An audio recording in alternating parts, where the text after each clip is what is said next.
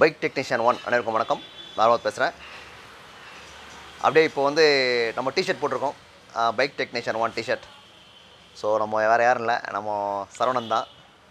First T-shirt திரும்புங்க sir அப்படியே. First T-shirt அந்த பைக் டெக்னீஷியன் ஒன் டிஷர்ட் வந்து போட்டிருக்காரு. ஸோ நீங்கள் என்ன பண்ணலாம்னா டிஷர்ட் அறிமுகத்துக்கு என்ன பண்ணலாம்னா ஒரு சின்ன வீடியோ ஏதாவது இது வரைக்கும் யாரும் போடாத வீடியோ ஒன்று போன ஐடியா பண்ணியிருந்தோம். ஸோ அந்த வகையில் வந்து இது வரைக்கும் பார்த்திங்கன்னா ஒரு யூடியூப் சேனலில் ஏபிஎஸ் மோட்டரை பற்றி எல்லாமே அவுட்லுக் பேசியிருப்பாங்க. அதாவது ஏபிஎஸ் மோட்டர்னா என்ன? ஏபிஎஸ் மோட்டர் வந்து எப்படி வேலை செய்யுது? எப்படிலாம் பிரேக் பிடிக்கும்? இது எல்லாமே கொடுத்துருப்பாங்க.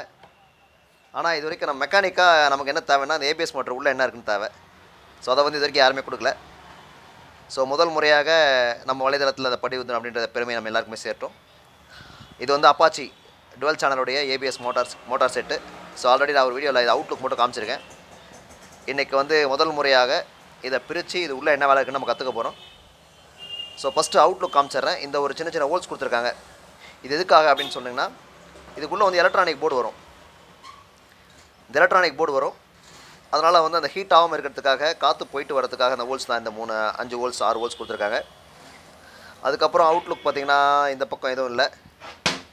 அப்புறம் இந்த பக்கம் பார்த்தீங்கன்னா நாலு ஹோல்ஸு ரெண்டு இன்னு ரெண்டு அவுட்டு அதாவது மாஸ் சிலிண்டர்லேருந்து வர இன்னு front rear out front out rear out இது ரெண்டும் பார்த்தீங்கன்னா அவுட்டில் வருது அதுக்கப்புறம் என்ன இருக்குது அப்படின்னு பார்த்தீங்கன்னா சாக்கெட் பின்னு ரெண்டு நாலு. நாலு பெரிய பின்னு அதுக்கப்புறம் வந்து பார்த்திங்கன்னா ஏழு ஏழு பதினாலு சின்ன பின்னு ஸோ மொத்தம் பதினெட்டு பின்னு ஒயர் வருது. ஸோ இதான் வந்து இந்த மோட்டருடைய அவுட்டில் இருக்கிற விஷயம். ஸோ இன்றைக்கி வந்து பார்த்திங்கன்னா நம்ம bike technician one Thiru Saravanan அவர்கள் வந்து இதை பிரித்து நமக்காக டெமோ காமிக்கிறாங்க. ஸோ ஸ்டார்ட் பண்ணுறாங்க ஃபஸ்ட்டு என்ன பண்ணுறாங்கன்னா இந்த மூணு ஸ்க்ரூ கழட்டுறாங்க.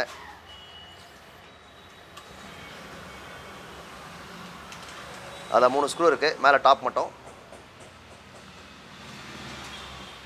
ஸோ ஒன்று ரெண்டு. ஸோ மூணாவது ஸ்க்ரூ கழட்டிட்டாங்க. ரெண்டு பேர் இருந்தால் வீடியோ எடுக்க வசதியாக இருக்குது கொஞ்சம் கிளியராகவும் கொடுக்க வசதியாக இருக்குது ஸோ இன்றைக்கி டிஷர்ட்டோட அறிமுகத்தை இதை பிரமாண்டமாக கொண்டாடலாம் அப்படின்னு சொல்லி தான் கொண்டாடுறோம். ஸோ இது என்ன பண்ணுறோம்னா மெல்லமாக பிரிக்க போகிறோம் இதை. ஸ்லோவாக கனெக்டர் போடுங்க லைட்டாக ஒரு சின்ன கனெக்டர் போடுங்க ஸ்லோவாக. ஒரு சின்ன கனெக்டர் போட்டு கொஞ்சம் கொஞ்சம் கொஞ்சமாக ஸ்லோவாக எடுங்க அப்போ தான் எல்லாருக்கும் புரியும் அது. ஸோ அப்படியே இதே பொசிஷனில் எடுத்து வெளியே எடுத்துருங்க வெளியே எடுங்க மெல்லமாக எடுங்க. ஓகே இப்போ ஃபஸ்ட் என்ன பண்ணிட்டோம் இந்த பேபிஎஸ் மோட்டரை வந்து ரெண்டு பார்ட்டாக பிரிச்சிட்டோம். ஸோ இது ஒரு பார்ட் இது ஒரு பார்ட் ஆகிடுச்சு இது வந்து பார்த்திங்கன்னா ஃபுல்லாக எலக்ட்ரானிக் பார்ட்ஸ் இதில் வந்து போர்டு உள்ளே இருக்குது அதாவது பதினெட்டு ஒயர் இருக்குது பின்பக்கம் ஃபுல்லாக போர்டு இருக்குது அதுக்கப்புறம் பார்த்தீங்கன்னா இதில் வந்து கலர் கோடு கவனிங்க. ரெண்டு எல்லோ ரெண்டு ப்ளூ கலர் கோடு இருக்குது அதுக்கப்புறம் அந்த உள்ளே பாருங்களேன். அந்த ப்ளூ கலர் ஹோல்ஸ்குள்ளே பாருங்கள் இதில் வந்து மூணு பின் வருது. நம்ம இப்படி திருப்புறோம். அப்படியே இதை உல்ட்டாவாக திருப்புறேன். ஸோ என்ன பண்ணுறேன்னு பார்த்தீங்கன்னா இந்த ப்ளூ கலர் ஹோல்ஸ்குள்ளே பாருங்கள் ஒரு த்ரீ பின் ப்ளக்கு மாதிரி வந்து மூணு பின் இருக்குது எல்லோ கலரில் பாருங்கள் ரெண்டு பின் இருக்குது இந்த எல்லோவில் ரெண்டு பின் இருக்குது இந்த ப்ளூவில் வந்து மூணு பின் இருக்குது ஸோ வந்து பார்த்திங்கன்னா இந்த கலர் கோடில் இது ஒரு விஷயம் இருக்குது அதுக்கப்புறம் வந்து இந்த நீட்டாக இருக்கிற ரெண்டு பின்னு இது வந்து பார்த்திங்கன்னா நம்ம கிளச் சுவிட்ச் மாதிரி வருது. நம்ம யூனிகான் கிளச் சுவிட்ச் மாதிரி வருது. இது என்ன பண்ணுதுன்னு பார்த்தீங்கன்னா இந்த ஹோல்ஸ்குள்ளே ஸ்ட்ரைட்டாக போயிட்டு இந்த பக்கம் மோட்டரை கனெக்ட் பண்ணுது. இந்த மோட்டர் ஓடுறதுக்கு வந்து சப்ளை இங்கே தான் போகுது. ஸோ இது வரைக்கும் புரிஞ்சிச்சு. ஸோ இது ஓப்பன் பண்ண முடியல. இது ஃபுல்லாக க்ளோஸாக இருக்குது ஸோ பதினெட்டு ஒயர் வருது. நம்மகிட்ட ஒயரிங் கிட்ட இல்லை. ஸோ அது ஒரு குறை இருக்குது ஸோ அதுவும் பார்ப்போம். இப்போ அடுத்தது பார்த்தீங்கன்னா இப்போ இந்த பக்கம் வருவோம். இந்த பக்கம் பார்த்தீங்கன்னா நாலு ஸ்டெம் இருக்குது இந்த நாலு ஸ்டெம்லேயும் வெவ்வேறு குறியீடு இருக்குது இதை கவனிங்க கொஞ்சம். இந்த நாலு ஸ்டெம்லேயும் வெவ்வேறு மார்க் ஒன்று போட்டிருக்காங்க பாருங்கள் இது ஒரு வகையான மார்க் இது ஒரு வகையான மார்க் இது ஒரு வகையான மார்க் அது கலர் கொஞ்சம் லைட்டிங் பாருங்கள் கொஞ்சம் க்ளியராக தெரியுதா பாருங்கள் ஸோ நாலு விதமான குறியீடு இருக்குது இது ஒரு வகையான குறியீடு. இது ஒரு வகையான குறியீடு. இது ஒரு வகையாக இருக்குது ஸோ இது ஒரு வகையாக இருக்குது ஸோ நாலு விதமான குறியீடு இருக்குது அப்புறம் பார்த்திங்கன்னா இந்த பிளாஸ்டிக் ஸ்லீவ் கொடுத்துருக்காங்க. ஸோ எல்லாமே ஒன்றுமே இல்லை. ஸோ எல்லாமே சும்மா ஸ்லீவ் தான் கொடுத்துருக்காங்க. போதும் ரெண்டு எடுத்தால் போதும். அதுக்கப்புறம் பார்த்திங்கன்னா இந்த ஸ்டெம் வந்து இப்படி ரொட்டேட் ஆகலை. அப்புறம் மேலே கீழே போயிட்டு வரல. ஆனால் ஃபுல்லாக ஸ்ட்ராங்காக தான் இருக்குது இது வந்து பார்த்திங்கன்னா நமக்கு மேலே வந்து இதுக்கு மேலே வந்து டாப்பில் வந்து கரண்ட் பாஸ் ஆகுது. நம்ம இதில் ஹோல்ஸில் பார்த்தோம். ஏதோ கரண்ட் வந்து ஏதோ பாஸ் ஆகுது. இதில் ஏதோ பாஸ் ஆகுது. ஆனால் பார்த்தீங்கன்னா இது வந்து மேலே கீழே ஷேக் ஆகலை ரொட்டேட் ஆகலை. நாலு ஹோல்ஸுக்கு நாலு ஸ்டெம் இருக்குது ஸோ எதனாலன்றதை பார்க்கலாம். அதுக்கப்புறம் இந்த ஹோல்ஸ்லாம் பார்த்தீங்கன்னா ஹோல்ஸ் எதுவும் இல்லை. இது ஃபுல்லாக சீல்டு தான் இது. இதில் எந்த ஹோல்ஸுமே இல்லை நமக்கு. ஸோ இந்த பக்கம் இந்த மோட்டரில் வந்து இந்த பாட்டில் வேறு எதுவும் இல்லை. இந்த பாட்டில் வந்து பார்த்தீங்கன்னா இந்த நாலு ஸ்டெம் வருது. இந்த நாலு ஸ்டெம்மும் வந்து பார்த்திங்கன்னா இந்த ஒயரிங் சைடோட கனெக்ட் ஆகுது. ஸோ அவ்வளோதான் ஸோ என்ன பண்ணலாமோ இதில் இதில் பார்க்குறதுக்கு வேறு எதுவும் இல்லை. ஸோ இந்த ஸ்டெம் வந்து பார்த்திங்கன்னா ரெண்டு விதமாக இருக்குது அதாவது இந்த என்ன சொல்கிறதுனா இந்த ப்ளூ கலருக்குள்ளே இந்த ப்ளூ கலருக்குள்ளே போகிற ஸ்டெம் வந்து பார்த்திங்கன்னா அந்த மார்க்ஸ் கீழே வருது. ஸ்டெப்பு பார்த்திங்கன்னா கீழே வருது. இந்த எல்லோ கலர் உள்ளே போகிறது பார்த்திங்கன்னா அந்த ஸ்டெம்மில் வந்து இந்த ரெண்டு மார்க் வந்து மேலே வருது. அதுக்கப்புறம் குறியீடு எல்லாமே மாறுது. ஸோ நாலு விதமான குறியீடு இருக்குது கரண்ட் கண்டிப்பாக இது வந்து ஏதோ ஒரு ஒரு கரண்ட் குறியீடு தான் இருக்கும். எலக்ட்ரிக் சம்மந்தப்பட்ட ஒரு குறியீடாக இருக்குன்றது மட்டும் தெரியுது. ஸோ என்னன்றதை நம்ம கண்டிப்பாக பார்க்கலாம். இது ஒரு வகையான குறியீடு. இந்த நாலு குறியீடு பாருங்கள் மேலே டாப்பில் பார்த்தீங்களா ஸோ கண்டிப்பாக இது வந்து ஒரு எலக்ட்ரிக்கான ஒரு குறியீடு தான் அது என்னென்னு பார்க்கலாம். இப்போ என்ன பண்ணலான்னா அடுத்தது வந்து பிரிக்கிறதுக்கு வேறு என்ன இருக்குன்னு பார்த்தா இந்த மோட்டர் தான் இருக்குது ஸோ மோட்டரில் வந்து பார்த்திங்கன்னா ஆல்ரெடி இந்த ரெண்டு நாலு ஸ்டெப்பு தான் வந்துச்சு. இந்த நாலு ஸ்டெப் பஞ்ச் பண்ணியிருந்தாங்க. இப்போ என்ன பண்ணுறேன் அந்த பஞ்ச் பண்ணி முடித்த உடனே என்ன பண்ணுறோம் அதை கட் பண்ணி எடுத்துட்டேன். ஸோ மெல்லமாக அந்த மோட்டர் மெல்லமாக எடுங்க. மெல்லமாக மோட்டர் எடுக்கிறார். ஸோ மோட்டர் வெளியே எடுத்தாச்சு. ஸோ பார்த்தீங்கன்னா இது வந்து ஒரு மோட்டர். எடுக்கணும் அப்படியே கொஞ்சம் எடுக்கணும் அப்படியே இருக்கட்டும் ஸோ இப்போ வந்து பார்த்திங்கன்னா மூணு பாட்டாக பிரித்தாச்சு ஸோ ஏபிஎஸ் மோட்டரை வந்து மூணு பாட்டாக பிரிச்சிட்டோம்.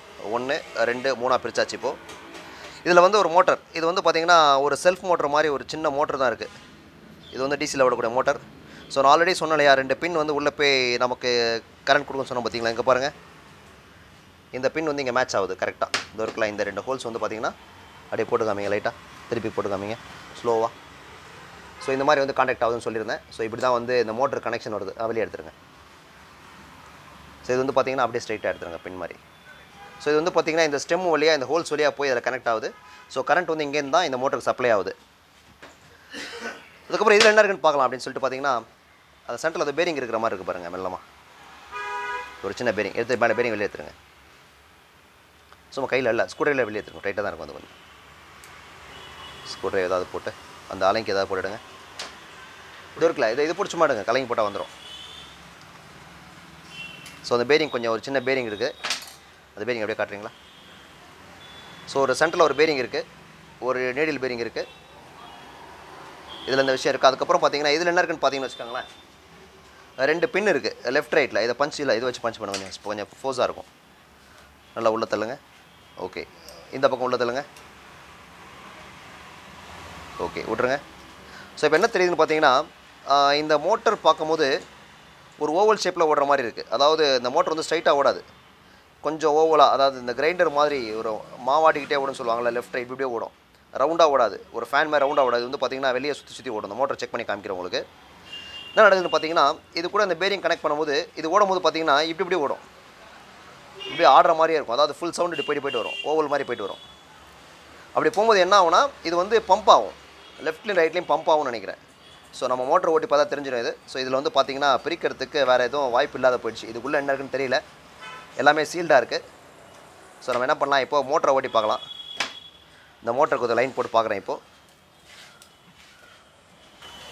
இப்போ என்ன பண்ணுறோம் இந்த மோட்டர் வந்து ஓட்டி பார்க்குறோம். இந்த பேட்டரியில் ஒயர் கனெக்ட் பண்ணியிருக்கேன். இந்த பின்னில் சொல்லியிருக்கேன் ஒரு ஒயர் இப்போ இன்னொரு ஒயர் என்ன பண்ணுறோம் டச் பண்ணுறோம் டச் பண்ணி டச் பண்ண ரைட்டாக கொஞ்சம். ஸோ அந்த மோட்டர் ஓடுறத கவனிங்க. அதை பாருங்கள் ஓவல் டைப்பில் ஓடுது. அதை கட் பண்ணி கட் பண்ணி போடுறாரு அவர். இந்த மோட்டர் வந்து பார்த்தீங்கன்னா ஓவல் டைப்பில் ஓடுது. ஸோ நான் என்ன பண்ணுறேன் இந்த பேரிங்கை வந்து இதுக்கு மேலே போடுறேன் இப்போது போட்டால் நான் கையில் பிடிச்சா எனக்கு தெரியும். இப்போது அந்த பேரிங் ஆர்டர் தெரியும். போடுங்க. இதோ அந்த பேரிங் பார்த்தீங்களா? அதாவது எல்லா பக்கமும் ஆடி ஆடி ஓடுது. ஸோ அப்போ என்ன புரியுதுன்னு பார்த்தீங்கன்னா இதுலேருந்து என்ன புரியுதுன்னா இந்த மோட்டர் வந்து இப்படி இப்படி ஆடும். ஸோ இந்த இடத்துல வந்து பார்த்திங்கன்னா இதை வந்து பம்ப் மாதிரி பண்ணிவிடும் ஸோ இந்த வந்து பம்பிங் நடந்துகிட்டே இருக்கும். ஸோ அதனால தான் அந்த பிரேக் விட்டு விட்டு பிடிக்குது. அது மட்டும் புரியுது. அதே மாதிரி சொல்லுவாங்க இந்த ஏபிஎஸ் மோட்டருக்கு வந்து பத்து வோல்ட்டுக்கு மேலே இருக்கணும் அப்படின்னு சொன்னால் என்ன காரணம் இந்த மோட்டர் ஒன்று இருக்குது ஸோ இந்த மோட்டர் ஓடுறதுக்கு குறைஞ்சது பத்து வோல்ட் குறைஞ்சது தேவைப்படும். ஸோ பத்து வோல்ட்டு கீழே தான் ஏபிஎஸ் ஒர்க் ஆகுதுன்னு சொல்லுவாங்க. ஸோ இவ்வளோ தான் அந்த ஏபிஎஸ் மோட்டரில் இருக்குது இதை மட்டும் பிரிக்க முடியாத ஒரு சூழ்நிலை. ஓகே அதான் இங்கே ஒரு ஹோல்ஸ் இருக்குது இங்கே ஒரு ஹோல்ஸ் இருக்குது ஆயில் வர மாதிரி ஒரு ஹோல்ஸ் ஒன்று இருக்குது மூணாவது ஹோல்ஸ் ஒன்று இருக்குது ஸோ மொத்தம் இவ்வளோ தான் இருக்குது இதில். ஸோ இது வந்து பிரித்து பார்க்க முடியாத ஒரு சூழல். இந்த ஃபுல்லாக மோல்டு பண்ணியிருக்காங்க நம்ம என்ன பண்ணலாம்? இதை பட்டையில் கொடுத்து கழட்டி பார்க்குறேன். அப்படி இல்லைன்னா வேறு ஏதாவது வண்டி இதில் இதை கழட்டி பார்க்க முடியுமான்னு பார்க்கலாம்.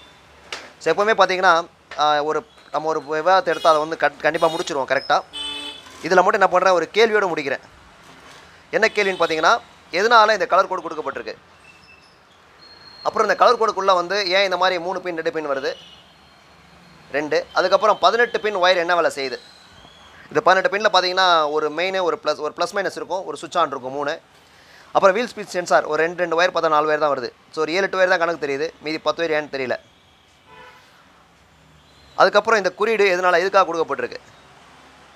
அப்படின்ற ஒரு கேள்வியோடவே இந்த பதிவை முடிக்கிறேன். என்னென்னு பார்த்தீங்கன்னா அதாவது மொத்தம் மூணு கேள்வி வைக்கிறேன் இதில். என்னென்னா ஏன் கலர் கோடு கொடுக்கப்பட்டிருக்கு? ப்ளூ அண்ட் எல்லோ அதுக்கப்புறம் அந்த உள்ளே வந்து ஏன் ஒயரிங் வந்து டிஸ்டர்ப் ஆயிருக்கு? ஒரு பெண்ணில் மூணு பின்னு ஒன்றில் ரெண்டு பின்னு ஏன் வருது? அப்புறம் பதினெட்டு ஒயர் இந்த ஒயர்லாம் என்ன வேலை செய்யுது? அப்புறம் இந்த குறியீடுக்கான அர்த்தம் என்ன? ஸோ இந்த ஒரு கேள்வியோடவே இந்த வீடியோ முடிக்கிறேன். ஆனால் கண்டிப்பாக வந்து நம்ம வந்து யாருமே வந்து இந்த ஏபிஎஸ் மோட்டரை தனியாக கலட்டி இது வரைக்கும் வீடியோ போட்டதில்லை. ஸோ ஃபஸ்ட் டைம் நம்ம வந்து பைக் டெக்னீஷியன் ஒன் இன்றைக்கி இந்த டிஷர்ட் அறிமுக நாள் அப்படின்றதுனால கண்டிப்பாக இது ஒரு சிறப்பான வீடியோவாக இருக்கும். ஃப்ரண்ட் திரும்ப சார் அப்படியே கொஞ்சம். ஸோ ஃப்ரண்ட்டில் வந்து லோகோ ரொம்ப வித்தியாசமாக போட்டிருக்கார். சரவணனுக்கு கண்டிப்பாக வாழ்த்துக்கள். சூப்பராக இருக்குது யாருமே இது மாதிரி போடல.